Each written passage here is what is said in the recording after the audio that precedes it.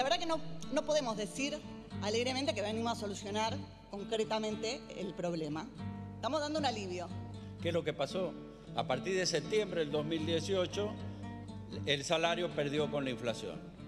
Y por eso se suspendió esto y por eso aparecieron medidas y sugerencias de los tres poderes. Luego de años, el Congreso de la Nación por fin se sentó a discutir soluciones para los hipotecados UBA. El 3% de todos los tomadores en ese sistema están en situación irregular en cuanto a sus pagos. Con 134 votos afirmativos y solamente 40 en contra, el proyecto obtuvo media sanción en la madrugada de este jueves y rápidamente generó repercusiones políticas. Por ejemplo, a través del propio presidente Alberto Fernández, quien aprovechó una entrega de viviendas para criticar al mecanismo. No son créditos UBA. No son créditos UBA. ¿eh? Son, son créditos accesibles para la gente.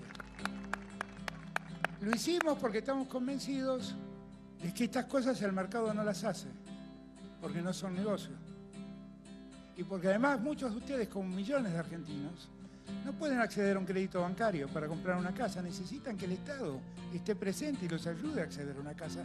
El mandatario, además, apuntó directamente contra Mauricio Macri y contra su gestión por, según él, ser de los principales causantes de la problemática. ¿Quién me precedió? Quien me precedió, entregó, construyó 14.000 viviendas en cuatro años. Y muchas de esas fueron pagadas con crédito SUA. No tenemos muy en claro si le arreglaron o le complicaron la vida a la gente. Lo que nosotros sí tenemos claro que estamos trayendo soluciones a un problema de muchas familias argentinas.